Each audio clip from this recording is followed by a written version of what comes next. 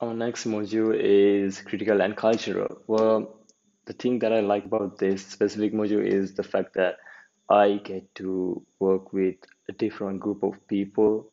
So I get to learn from them, and we could share each other's thoughts and ideas when it comes to a project.